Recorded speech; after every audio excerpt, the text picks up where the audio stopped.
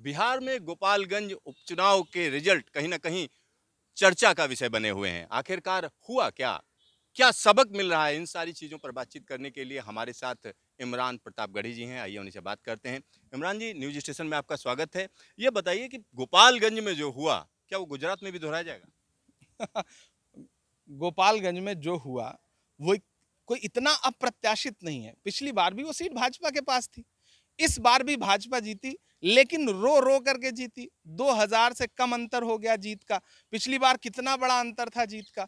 तो गोपालगंज का नतीजा थोड़ा सा और प्रयास हुआ होता तो महागठबंधन के अब अगर एक सीट गोपालगंज जीत गए होता महागठबंधन और तो फिर क्या प्रश्न आपका यही होता कि जो बिहार में हुआ वही गुजरात में होने जा रहा है, तब आपका प्रश्न ये नहीं होता।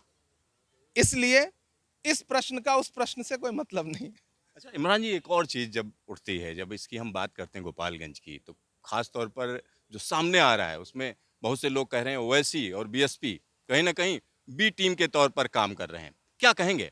देखिए सिर्फ़ गोपालगंज नहीं, बहुत सारे चुनाव इस बात के गवाह हैं कि बहुजन समाज पार्टी ने पूरी तरह से भाजपा को सहयोग किया है।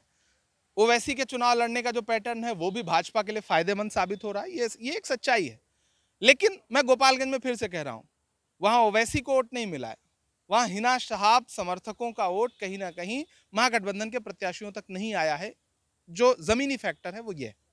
लेकिन मनोज झा जो आरजेडी के नेता हैं उनका कहना है कि महागठबंधन को बैठकर सोचना पड़ेगा इस पर। क्या कहेंगे? नहीं जब प्रधानमंत्री हिमाचल के एक बागी व्यक्ति को फ़ोन करने के लिए प्रधानमंत्री फ़ोन कर रहे हैं तो फिर तो हमारे हर नेता को एक एक सीट की महत्वपूर्ण बात को समझना तो पड़ेगा कि उसका महत्व तो कितना है।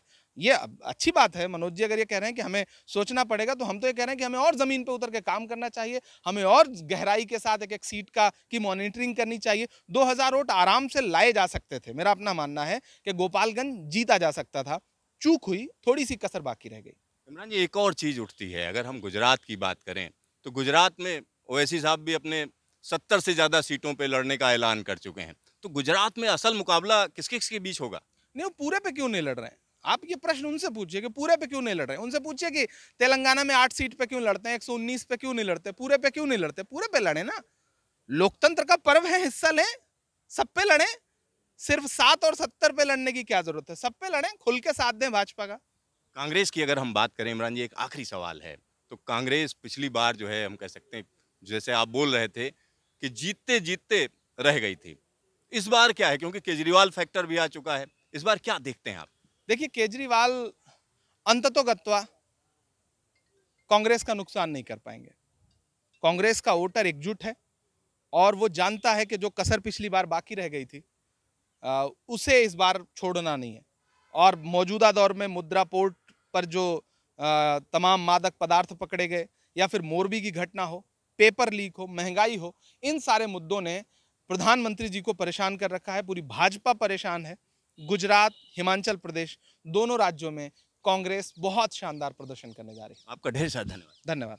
यहाँ पर आप समझिए कि जो राजनीति है उसका खेल अजब गजब होता है। गोपालगंज को लेकर जो चर्चा चल रही वो यही चल रही कि ओवैसी फैक्टर एक बार फिर सामने आ चुका है और गुजरात में भी कहीं ना कहीं उसका असर देखा जाएगा। कैमरामैन हेमंत के साथ सिद्धार्थ न्यूज़ स्टेशन दिल्ली।